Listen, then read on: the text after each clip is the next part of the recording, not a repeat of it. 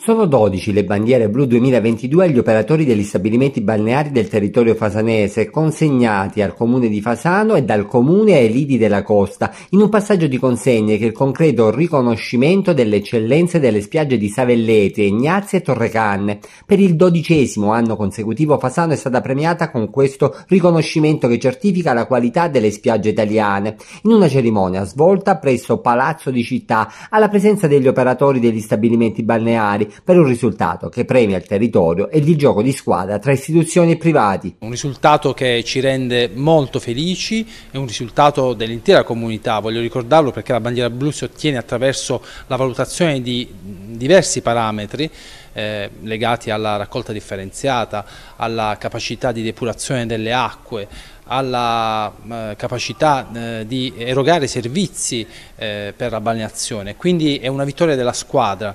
una squadra della squadra Fasano, intesa come insieme di eh, imprenditori e di istituzioni che da anni lavorano all'unisono per rendere questo territorio